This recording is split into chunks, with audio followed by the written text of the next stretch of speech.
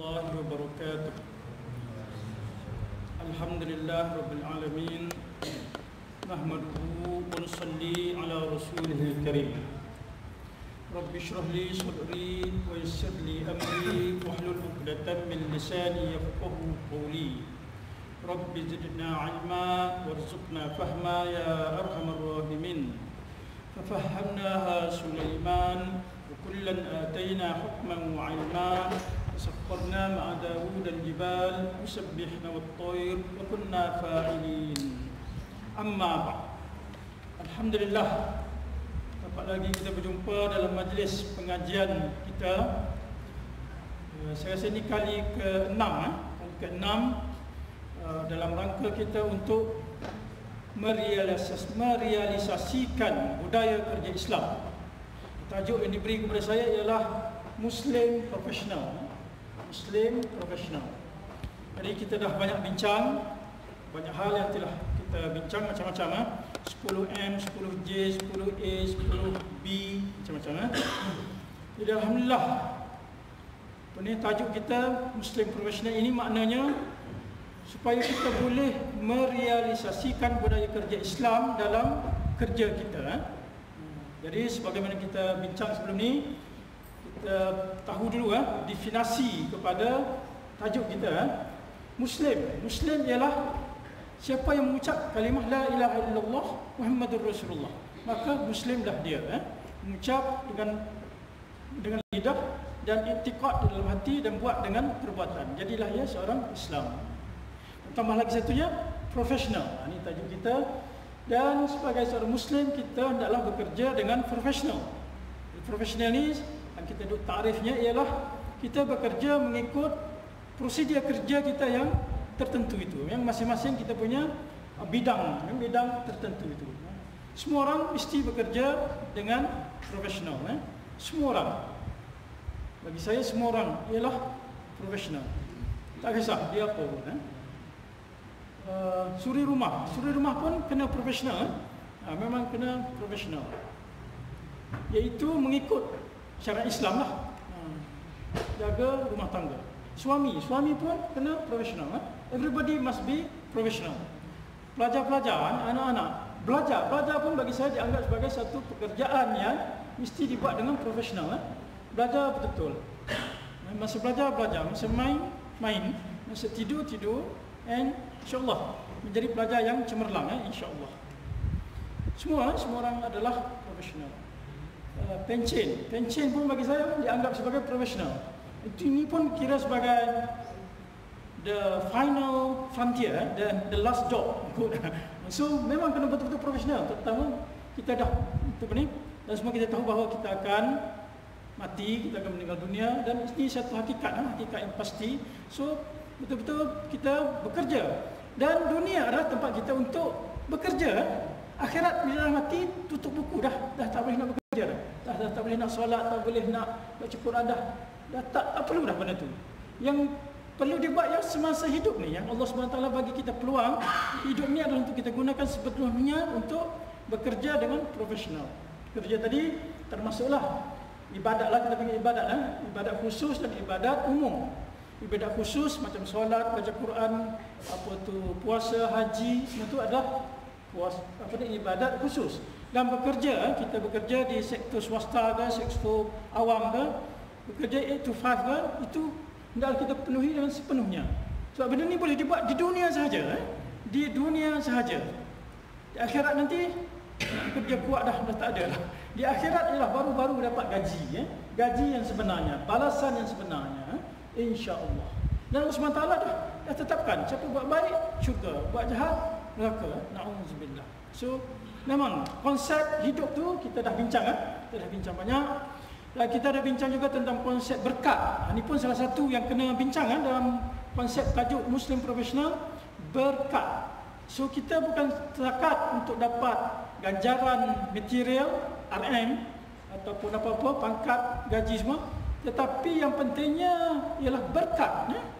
Walaupun dapat sikit tapi berkat insya-Allah hidup bahagia. Ha, kalau dapat banyak juta-juta bilion-bilion pun kalau tak berkat macam-macam hal eh. Ha, so kita dah boleh tengok banyak macam contoh eh. Ha, macam contoh orang yang hidup dia berkat, nampak happy ya, memang betul happy pun. Orang yang tak berkat, walaupun nampak kaya raya, ha, non muslim kan, billionaire semua tu, yang non muslim kan, saya pasti mereka tak bahagia. Mereka tercari-cari something ya. Mereka tak bahagia sebab tak berkat hidup ya. Ha, so in the first place-nya insyaallah alhamdulillah kita semua adalah Islam dan cuma just follow perintah Allah Subhanahu taala dan berkat dan hidup bahagia. Itulah tujuan kehidupan yang sebenarnya ya. insyaallah. Dan kita dah bincang tentang apa ni konsep hidup dalam Islam yang kita sebut tadi hidup adalah jambatan ke akhirat eh? Hidup adalah ladang ke akhirat, jambatan ke akhirat. Hidup adalah tempat bekerja, eh? akhirat adalah tempat balasan insya-Allah. Okay, banyaklah kita bincang uh, lima sepuluh perkara saya selalu pilih dalam buku saya ni uh, tajuk Profesional ini adalah berpandu kepada buku saya sendiri ya. Saya dah tulis buku ni dan uh, saya pilih 10 benda yang mesti kita buat ya, semasa bekerja supaya mencapai tahap profes profesionalisme yang 100%. Ya. So yang pertama mestilah berniat kerana Allah. Saya ulang lagi sekali ya. Berniat kerana Allah. Mestilah berniat kerana Allah. So kalau kita bekerja niat untuk RM rugi ya. Sebab dapat dunia saja lah kot. Ya. Niat kerja dapat gaji berapa? 10,000. So dapatlah 10,000 insya-Allah. Tetapi akhirat tu tak ada apa. Rugi ya. So, lebih baik kita berniat kerana Allah dunia pun dapat, akhirat pun dapat. Ya, sebagaimana doa kita tu kan Rabbana atina fid dunya hasanah wa fil akhirati hasanah wa qina azabannar minta baik dunia minta baik akhirat selamat api neraka tu kita punya moto kehidupan eh? kita punya misi kita punya visi visi ya vision eh? vision dan objektif kita hidup di dunia ni ya orang selalu sebutkan apa ni kejayaan kita di dunia dan akhirat adalah bergantung kepada sebagaimana kita, sejauh mana kita berjaya mengikut perintah Allah Subhanahu Taala dengan cara yang telah ditunjukkan oleh Nabi Muhammad sallallahu alaihi wasallam. So nak berjaya in the first place-nya ikut perintah Allah Taala tetapi dengan cara Nabi Muhammad sallallahu alaihi wasallam. Luar pada tu dikira tak berjaya. English ni selalu sebut eh Our success in this world and the world hereafter depend on how much we obey Allah Subhanahu Wa Taala by the way that has been shown by Muhammad, by Prophet Muhammad Sallallahu Alaihi Wasallam. Semua English okay kan? Arab, ha, Arab. Inna najahuna wa falahuna fi ittiba' awamirullah bi tariqatin Nabi sallallahu alaihi wasallam. Urdu kan? Urdu. Ada Urdu ni हमारा कामयाब दुनिया और आखिरत है नाबिल पाक और अल्लाह पाक और नबिल पाक सल्लल्लाहु अलैहि वसल्लम तरीका में है Jerman tak sempat lagi nak Google eh? InsyaAllah minggu depan insyaAllah Berapa kali sejak nak Google Jerman tu So tu moto hidup orang Islam eh, sepatutnya Dan Islam for everybody eh? Bukan Arab saja, bukan Melayu saja For everybody in this world eh? Siapa yang ucap kalimah la ilaha illallah Maka dia adalah Islam dan dia berhak untuk berjaya dunia akhirat. Ya? Dan itu pun mission kita salah satu mission ialah untuk menyampaikan Islam ke seluruh dunia. Ya? Bukan Putrajaya saja, bukan Malaysia saja, seluruh dunia. Ya? Kita punya mission untuk menyebarkan Islam ke seluruh dunia. InsyaAllah. Sebab kita adalah umat yang terakhir. Dan kita dari umat Nabi yang terakhir. Tidak ada Nabi selepas ini. Ya? Memang semua dah tahu kan Nabi Muhammad sallallahu alaihi wasallam adalah nabi yang terakhir rasul yang terakhir dan Nabi Muhammad sallallahu alaihi wasallam telah wafat dan tugas menyampaikan Islam telah jatuh kepada semua orang yang menyebut kalimah la ilaha illallah Muhammadur Rasulullah bukan pada ustaz saja bukan pada ulama saja bukan pada pemimpin saja tapi kepada everybody yang ada kalimah la ilaha illallah Muhammadur Rasulullah tapi bergantung kepada kemampuan kita lah. Ha? Kita tahu satu sampai satu, tahu seratus sampai seratus. Ha? Balighu anni walau ayah. Ha? Kama kau Nabi Sallallahu Alaihi Wasallam. Ha? Hadis Nabi, sampaikanlah daripada ku walaupun satu ayat. Ha? So ini tugas semua orang ya, insya Allah. Dan M yang kedua kita dah bincang pun mestilah bermatlamatkan majikan kita adalah Allah. Ha, bear in mind that kita punya majikan yang pada hakikatnya adalah Allah Subhanahu Wa Taala, bukannya kerajaan Malaysia, bukannya Shell, bukannya Petronas, bukannya company ABC, tetapi hakikatnya ialah Allah Taala. Rezeki itu melalui asbab majikan kita. Yang beri rezekinya Allah SWT Allah SWT takdirkan kita bekerja situ Dan Allah SWT yang bagi rezeki. So Sepatutnya kita berpuhatilah. Ini memang yang Allah SWT takdirkan kepada kita. Ha, Konsep takdir pun kita dah bincang.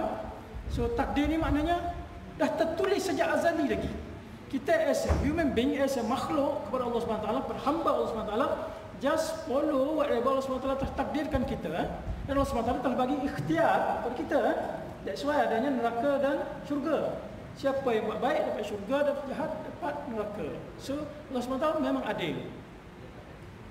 We sebagai manusia, kita sebagai manusia, just follow apa itu perintah Allah SWT. Just ikut semua perintah Allah SWT, insyaAllah berjaya. Eh? Hidup sebenarnya terlalu simple. Eh? Okay. Ada soalan? Ini kita baru bincang apa kita. Okey, yang seterusnya mestilah berasaskan ikhlas dan kita bekerja untuk menjadi seorang profesional yang baik ialah ikhlas lillah taala. Kalau tak ikhlas ni kerja mungkin sambil lewat ataupun kerja bodek-bodek kerja something else eh? rugi. Lebih kurang macam niat kerana Allah Taala lah. Ikhlas lillah taala. Barulah kita kerja tu happy. Eh? Kita kerja tu uh, fulfill our satisfaction eh? personal satisfaction bila kita buat dengan ikhlas orang puji orang kutuk orang puji pun serupa aja lillahi taala okey seterusnya mestilah rajin dan bersungguh-sungguh ini salah satu satu nanti saya ulang lagi sekali ya nak berjaya nak menjadi profesional yang betul mestilah rajin dan bersungguh-sungguh kan Ha, kalau buat sambil lewa, kalau kerja lepaskan batuk di tangga Tak menjadi eh, biasanya. Kita tak maju ke hadapan. Islam tak progresif. Orang sebut sekarang ha. So mestilah rajin dan bersungguh-sungguh ha? InsyaAllah berjaya. Seterusnya menepati waktu Punctual, punctuality Must be very punctual lah ha, Kena punctual ha? Islam yang melatih kita untuk punctual Sebabnya kita bergantung kepada masa ha? Dunia ni satu lagi adalah masa Akhirat masa telah disembelih Dah tak ada masa dah di akhirat So dunia ni masa ha? kita dah diberi masa, telah diberi masa oleh Allah SWT bergantung pada masing-masing rezeki masing-masing ya? so masa tak boleh reverse pukul 8 malam 11 hari bulan 2 dah berlalu tak boleh tak boleh repeat dah dan masa tak boleh tak boleh percepatkan dan tak boleh perslowkan ya? tak boleh memperlahankan so masa just going on ha, so memang kena menepati waktu Okay, seterusnya mestilah beriman dan bertakwa. Ini memang prerequisite yang sangat-sangat penting lah. Kalau tak ada beriman dan bertakwa, useless lah. Apa ni kita punya kerja tu dunia sajalah. Eh? So, mesti yang satu beriman, yang ini beriman kepada rukun iman tu lah. Beriman kepada Allah SWT, Rasul, beriman kepada malaikat, beriman kepada hari kiamat, beriman kepada apa lagi? Qadar dan qadar. Eh? Beriman per kitab, enam eh? rukun iman. So, mesti ini prerequisite yang tidak dapat tidak mesti ada.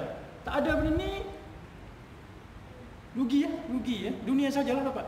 Mereka yang berjaya di dunia non muslim kan. So mereka tak beriman. So setakat dunia ajalah. Ha, tapi kalau Islam insya-Allah baru-baru barulah betul kejayaan yang hakiki.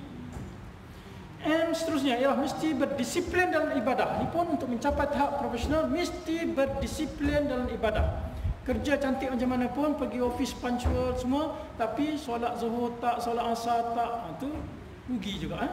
ada disiplin dalam ibadah dan kita boleh buat arrangement eh? ha, kita boleh buat arrangement terutama kalau kita sebagai pentadbir sebagai manager ke apa kalau buat meeting tu supaya jangan clash dengan waktu solat lah hmm, ataupun boleh buat arrangement eh? bergantung kepada jenis pekerjaan kita eh? Allah SWT menyenangkan eh? cuba yang fardu mesti buat eh? walau macam mana sekalipun solat tetap solat eh? saya punya moto ialah apa-apa hal solat dulu ha, settle eh? Terus masa waktu dia solat dan settle dah at least apa tu tanggungjawab kepada Allah SWT yang kita utamakan eh? and then uh, mestilah mempunyai rasa kekeluargaan ini tambahan eh? untuk rasa lebih profesional kerja kita ada sense of belonging eh? kita pergi kerja tu macam ni bapak kita yang punya so mungkin macam tu sedap sikit baru kerja tapi kalau pergi kerja gaduh nak berbalah aja dan tak syok lah kerja tu and then nak profesional macam mana dan seterusnya ialah mestilah berilmu. So ilmu tak dapat tidak mesti ada eh. Mesti ada. Nak buat ibadat kena ada ilmu eh. Solat bukan boleh sembarangan, boleh boleh bukan boleh ikut-ikut je. Kena ada berilmu. At least pula berguru ke baca kitab ke apa ni mestilah berilmu. Dan buat kerja kita pun mesti berilmu eh. Jangan jangan buat tanpa profesional. Ha, ni yang profesional mesti berilmu. Yang ni mengikut prosedur bidang kita lah. And then last but not least mestilah sentiasa bermuhasabah. So from time to time kita audit. Ha, ni audit muhasabah, audit kerja kita, audit diri kita sendiri. Dalam hadis pun sebut eh, sebelum tidur kita muhasabah diri kita. Adakah hari ini kita berjaya bekerja dengan baik? Ataupun kalau dalam konteks bekerja ni sebelum balik tu, sebelum punch out eh. So muhasabah dulu lah. Ha, bekerja settle semua kalau macam mana. So boleh buat arrangement eh muhasabah. Tidak rugi orang yang bermuhasabah eh. Insya-Allah daripada bermuhasabah lah kita boleh improve for better works tomorrow insya-Allah. Ha. Dan kita ada juga bincang tentang 10 perkara. Yang ni jangan buat. Don't ever do it. Ha. kalau boleh memang jangan buat langsung eh. Yang pertama jangan menipu.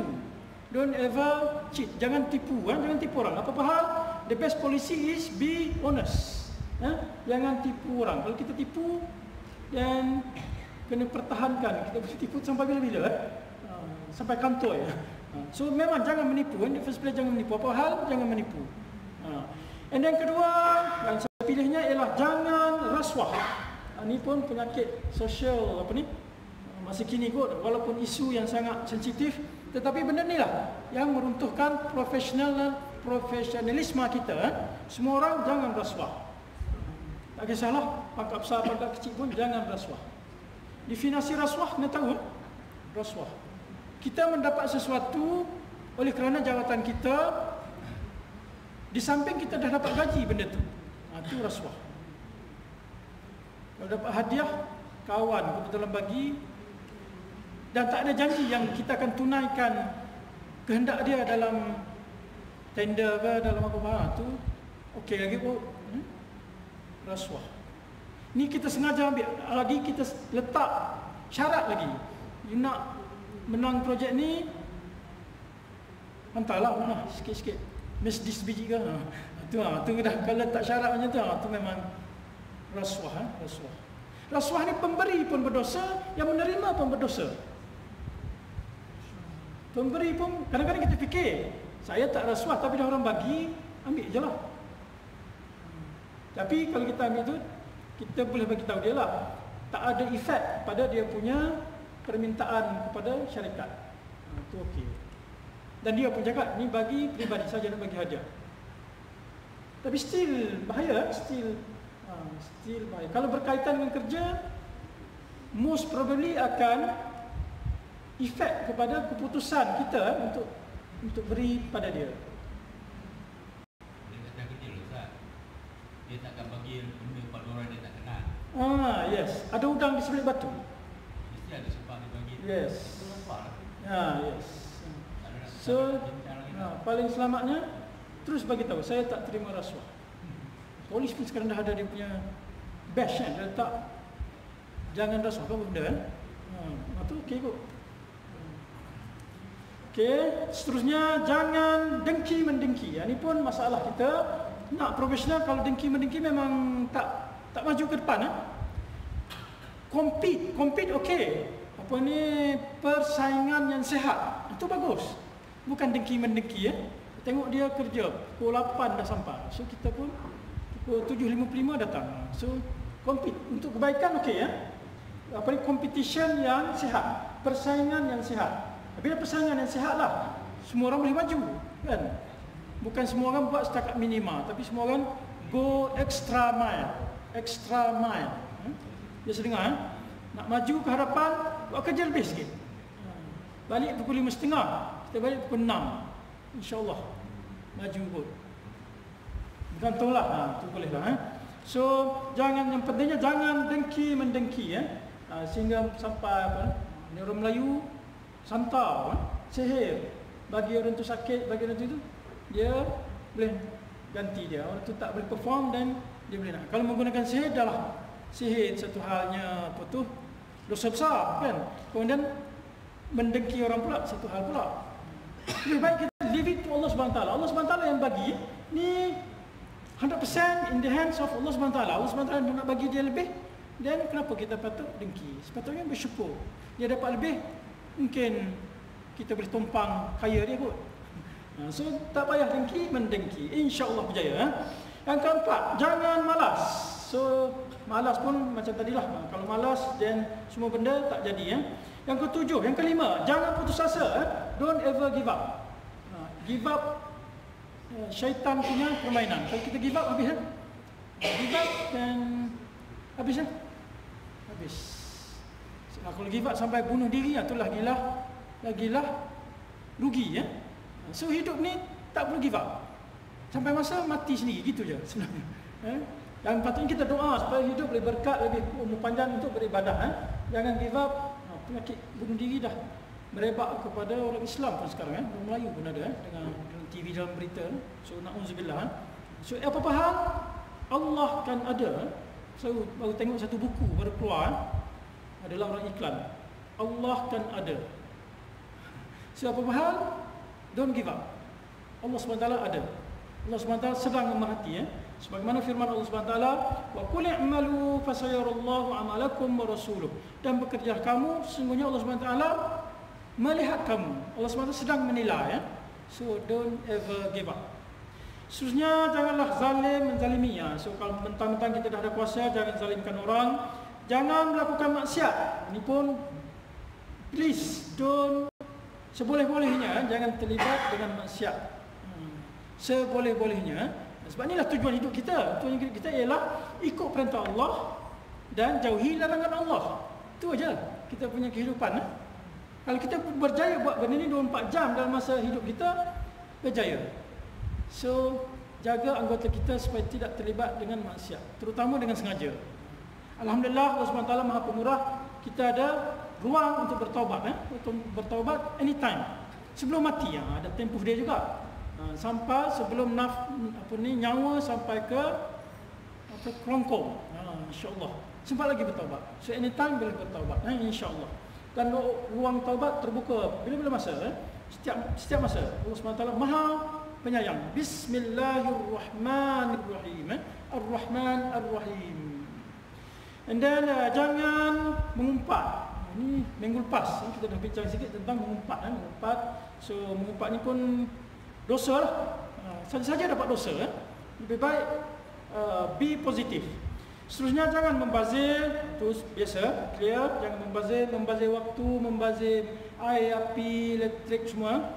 Mas, masa pun jangan membazir ya, sebab masa limited and then masa terus berjalan. Okey, seterusnya yang ke-10 last but not least ialah jangan mungkir janji. Ini sama dengan menepati waktu eh. So kalau janji jangan engkau mungkiri ya. So jangan mungkir janji. Dan kita berbincang tentang 10 benda yang patut kita buat dan yang saya sebut sebagai hendaklah, eh, hendaklah elok kita buat, hendaklah be positif. Nombor satu, positif. So be positif. Eh. Kalau negatif ni in the first place kita dah undur ke belakang. Eh. Kita kata ni tak berjaya ni buat ni projek. So dah, dah ke belakang. So be positif. Apa ni? Optimistik. Optimistik yang yang betul lah smart ha, ini dalam pengurusan dia panggil smart iaitu spesifik yang kita punya kita punya target tu must be specific ya measurable achievable up apa up reliable then time frame ha, smart must be smart ha, kita punya target ha. so at least insyaallah bila kita positif macam tu boleh tercapai insyaallah. Dan yang kedua ialah hendaklah proaktif. Memang kita disuruh untuk rajin, tapi kita more than that. Um, proaktif. Kerja start pukul 8, pukul 7 dah sampai. Oh, very proaktif lah. Sebelum bos suruh kita dah buat.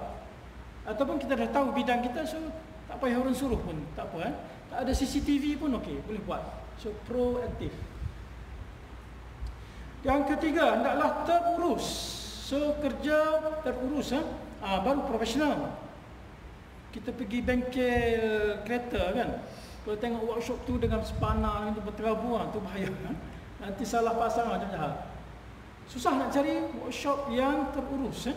Dia punya spana semua cantik susun semua saya tak tahu kenapa mekanik dia suka terurus mungkinlah pada pandangan kita eh? dia macam mana tayar tuan kabut kan? Nah, so nak berjaya bila terurus sebenarnya Uh, less defect. Bila less defect, less rework. Ha? So tak ada kesalahan, tak adalah repair balik. Ha, sekali buat terus betul. Right on time and all time. Ha? Buat sekali buatnya terus betul. Dah tak perlu case reject, case apa. Ha? So penting eh untuk untuk terurus, eh? terurus. Islam sangat terurus eh. Semua eh? ada dalam Islam ada kaifiat masing-masing ya. Cara-cara berwuduk, cara-cara solat, cara-cara berzikir, cara-cara semua ada sangat-sangat terurus. Very efficient ya, dalam Islam kalau kita kaji dari segi pengurusan lah. Sebuah aja ibadat apa, memang semua terurus. Timing dia mesti masuk waktu dan semua ada. Ha, kalau hukum fiqh tu dah lah dia punya perbahasan pengurusan ibadat. Sangat-sangat terurus. Begitu juga dalam kerja kita sebenarnya. Ha, so ambil konsep terurus tu dalam kerja kita insya-Allah berjaya eh insya-Allah. Okey seterusnya adalah cekap. So profesional mesti cekap lah. Nama pun profesional, eh? sinalah cekap. Kalau tak cekap kena training and retraining and retraining eh? Belajar ilmu ilmu ilmu itu ha, boleh. Yang ke yang ke enam berani. So satu lagi hendaklah kita berani. Bila berani insyaAllah baru maju ke hadapan eh? Bukannya belak, macam tadi Positif, negatif tadi kan So ni berani, berani untuk maju ke hadapan Berani kerana benar eh? Takut kerana salah So berani berubah Berani mencipta Berani berkarya Berani ke hadapan Itu sifat orang Islam sebenarnya eh? Barulah kita boleh maju Berani eh? Dan berani pun jangan sembrono eh? ha, Berani kerana benar Kalau salah tu ha, tak, kena takut pula ha. and then uh, hendaklah bersatu padu bersatu padu biasa kot eh? kita pernah bincang kot minggu lepas bersatu padu bercerai apa ni bersatu teguh bercerai roboh itu pernah Melayu eh? ayat Al-Quran wa'tasimu bihablillah jami'a dan berpegang teguhlah kamu dengan tali Allah tu bersatu padu kita dengan tali Allah insyaallah selamat sebab kita berpegang dengan Allah Subhanahu wa taala kalau bersatu padu tentang keburukan tak sepatutnya eh? Al-Quran apa? Wa ta'awanu 'alal ismi wal 'udwan dan jangan kamu bertolong-menolong tolong-menolong dalam perkara dosa dan maksiat. Itu benda yang jahat tak boleh bersatu padu tapi benda yang baik bersatu padu. Sinergi ya. Orang tu pandai buat ni, orang tu pandai buat ni dan kalau kumpul semua insya-Allah baru padu eh? main bola jadi gol, jadi goli, jadi goalkeeper, back, center, forward, semua bersatu padu baru boleh menang. Eh? Hmm, kalau keeper aja terror tapi striker tak skor-skor, ha, susah nak menang. Eh? So memang teamwork, ya, teamwork. And then uh, hendaklah mengambil berat, eh? concern. Ini pun salah satu sifat yang saya sangat suka tekankan untuk kita bekerja dengan profesional, iaitu concern. Ha, ini bukan jaga tepi kain orang. Eh. Islam disuruh untuk kita concern. Concern hal masyarakat. Eh. Concern tak salah. Memang disuruh pun kita concern. Kenapa harga barang naik? Kenapa minyak naik? Kenapa GST? Ha, memang kita boleh concern. Eh. Boleh concern. Bukan nak jaga tepi kain orang. Dan tak tiah kau nak rempit, kau nak isap dadah. Boleh dia macam tu. Krisin 11 ada kereta kena bakar. Eh. Baca dalam berita. So saya bukan penduduk sini tapi saya concern juga kenapa kena bakar eh? custom kan. Oh, kereta abang tak tahu Allah. Baca banyak dalam berita tu. So concern, kita concern. Kalau everybody just diam macam tu, then hancurlah masyarakat kan. So nak professional, concern. Kita nak nak sibuk-sibuk. Tapi Allah SWT pun suruh kita concern. Eh? Kita adalah umat yang terbaik. Kuntum khairu ummatin ukhrijat linnas ta'muruna bil ma'ruf wa tanhauna 'anil munkar. Eh? Ayat Al-Quran suruh kita bagi tahunya kita adalah umat yang terbaik.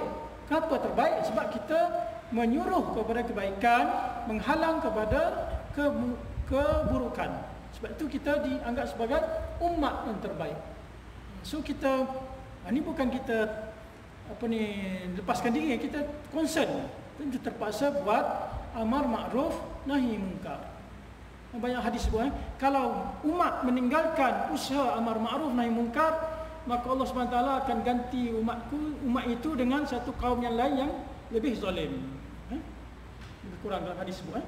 selalu dengar kan so memang bukan jaga tepi kain orang tapi Allah SWT suruh kita concern tentang masyarakat boleh kita duduk dalam Ekon kita duduk dalam air condition kita zikir aja seorang-seorang.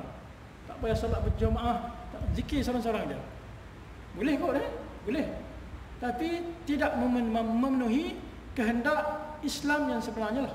Nah, Islam kita kena tampil ke hadapan dan concern about this ummah. Nabi Muhammad SAW sangat-sangat concern eh? Nabi sehingga saat-saat nak meninggal pun ummati ummati ummati kan wahai umatku wahai umatku eh?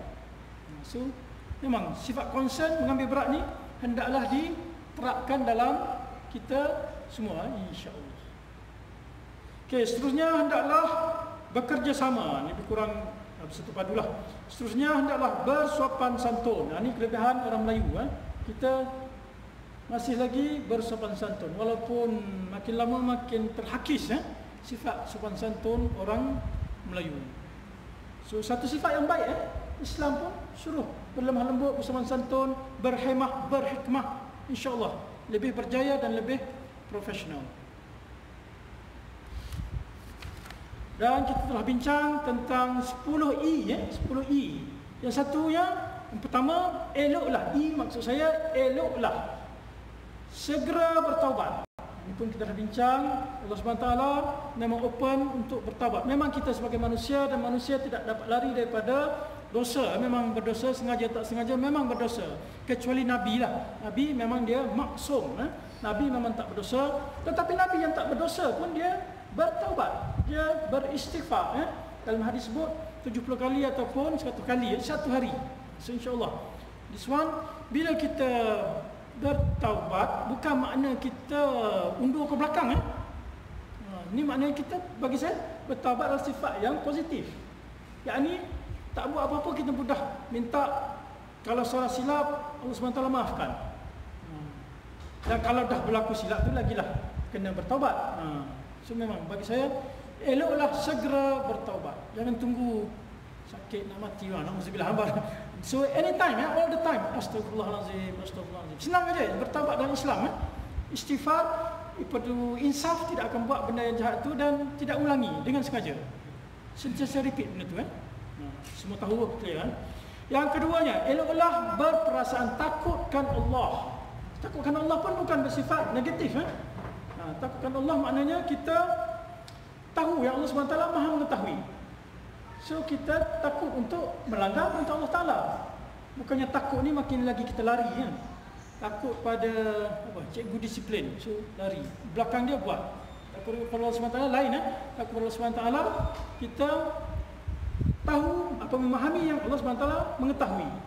So everything Allah SWT tahu. Walaupun dalam hati. Cuma alhamdulillah dalam hati tidak dihukum, eh? tidak di tidak dikira salah. Sebelum mati okey lagi. Bila buat baru kira salah eh? Yang ke empat, yang ketiga, hendak eloklah sentiasa bertawakal. Ini pun satu benda yang konsepnya kena faham betul-betul kan, tawakal. Tawakal bukan nak pergi perang, pergi je. Tak bawa senapan, tak pakai baju besi, tak pakai kan. Kalau zaman sekarang tak tak canggih lah.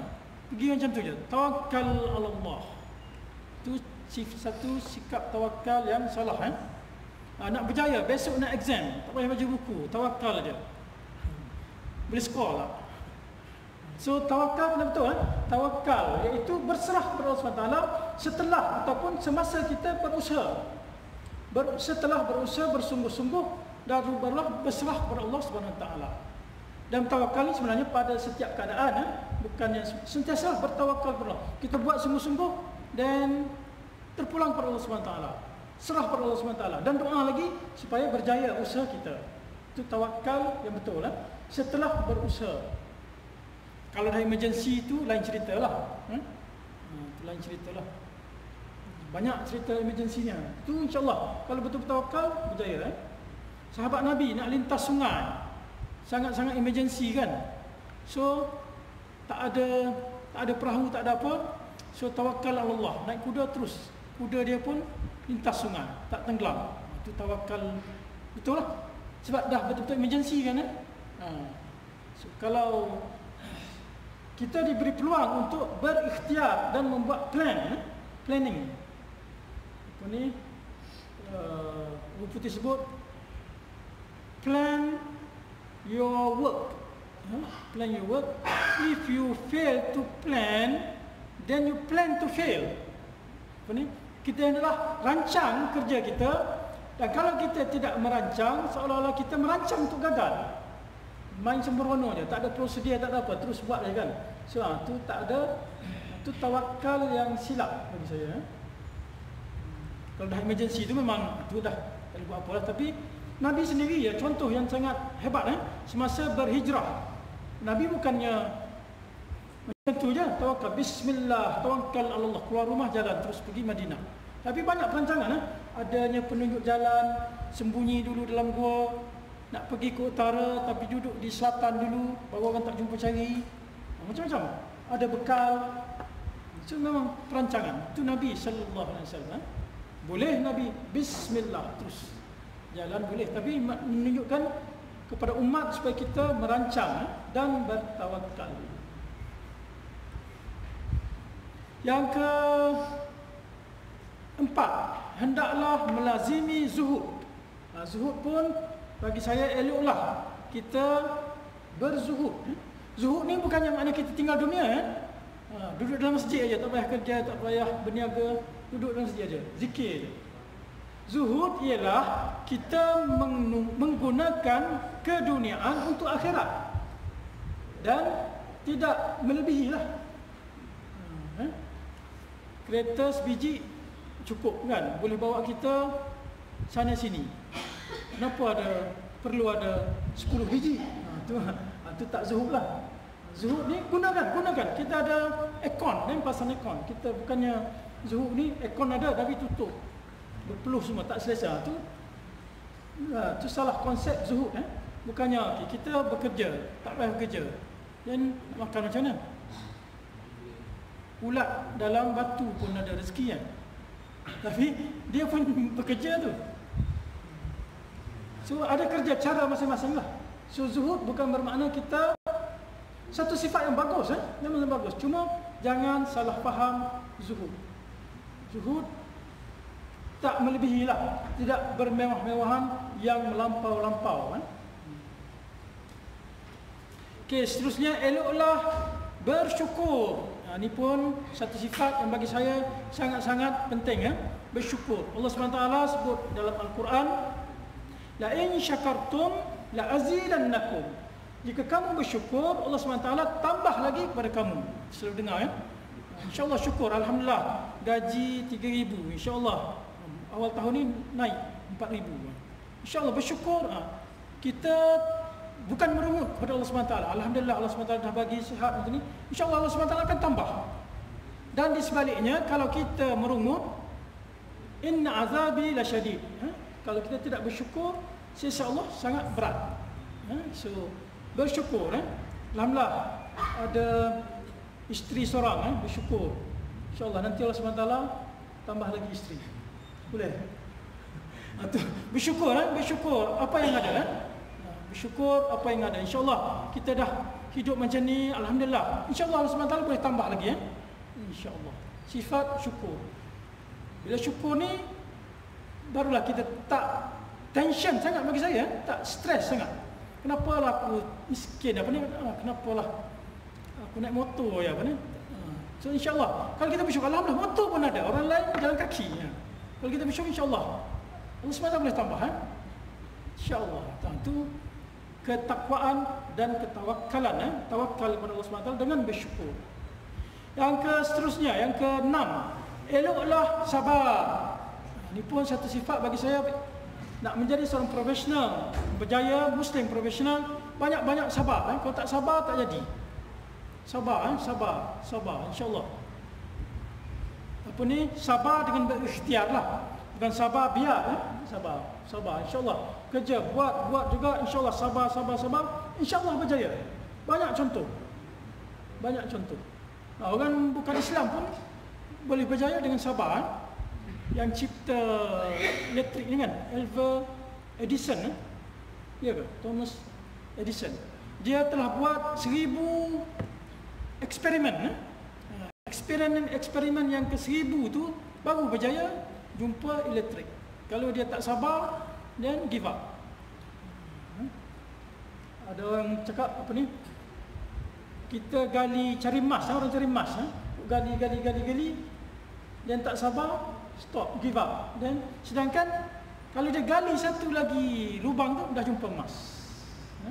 banyak dalam khusus motivasi selalu cerita tu kan so sabar ha? sabar sangat-sangat penting sabar pun banyak hal ha? sabar dalam beribadat ha, memang kena sabar kena solat maghrib zuhur asar insya tu sabar sabar buat juga kena puasa jangan buka puasa sampai azan maghrib baru kena sabar sabar ha? Sabar dalam dalam beribadat. Satu hal, apa-apa hal mesti buat. Sabar dalam jangan melakukan maksiat. Eh? Jangan minum arak, jangan jangan jangan. Ha. Duduk overseas arak sepah, ha? boleh minum anytime. Tapi sabar sabar sabar. Dalam maksiat pun kena sabar jangan buat. Eh? Sabar. So banyak kategori sabar. InsyaAllah kita boleh bincang detail lagi. Yang ketujuh ialah rindu dan mencintai Allah masuk waktu kan. So, rindu dan mencintai Allah. Yang ini, kita sentiasa ingat kepada Allah SWT dan rindu kepada mati. Boleh? kita sebenarnya takut kepada mati. Eh? Tapi ya, sebab lagi pun benda ni tak dapat tidak kita akan hadapi. Eh? So, lebih baik kita hadapi dengan happy. Eh? So, merindui Allah SWT, merindui syurga. Dengan merindui Allah SWT, kita akan beribadat, kita akan bekerja lebih kuat. Kan? And then, uh, hendaklah sentiasa ingat akan mati tersebut. And luklah merasa reda kepada Allah. Ini pun reda. Apa hal? Semuanya telah ditakdirkan oleh Allah SWT sejak azali lagi. Ya? Saya punya tagline, uh, susah, sabar. Senang, syukur. Apa-apa hal, reda. InsyaAllah selamat eh? Susah, sabar Senang, syukur Apa-apa hal, reda kepada Allah Subhanahu wa ta'ala Dan yang ke sepuluhnya Hendaklah, eloklah melaksanakan ihsan dan keadilan So kita menyembah Allah SWT sebagai seolah-olah Allah melihat kita eh? Itu dia punya kesimpulan lah And then baru masuk tajuk yang seterusnya yang mungkin minggu depan kita akan bincang secara detail sikit eh. Satunya ni saya panggil 10B. Berhati-hati. Satu berhati-hati dalam banyak berkata-kata eh. Dalam banyak berkata-kata hati-hati, banyak berhati-hati dalam banyak makan, berhati-hati dalam banyak dengan marah, berhati-hati dengan bakhil, berhati-hati dalam mencintai pangkat, berhati-hati dalam mencintai dunia, berhati-hati dalam takabur, berhati-hati dalam ujub berhati-hati dalam meriak, berhati-hati dalam lalai. InsyaAllah, minggu depan kita bincang 10B. Okey, ni iklan dulu. Iklan dulu. Ha. 10 minggu depan insyaAllah 10B. Ya. Berhati-hati dalam cakap, makan, marah, bakhil, cinta pangkat, cinta dunia, takabur, ujub, riak, lalai. InsyaAllah. Untuk minggu depan. Panjang umur, murah rezeki insyaAllah. Kita jumpa lagi Any question? Ada? Nak bincang apa? Tak ada? Alhamdulillah. Kita akhiri majlis kita dengan tasbih kafarah dan sedikit doa. أعوذ بالله السميع العليم من الشيطان الرجيم. سبحان الله وبحمده سبحانك اللهم وبحمدك. أشهد أن لا إله إلا أنت أستغفرك وأتوب إليك.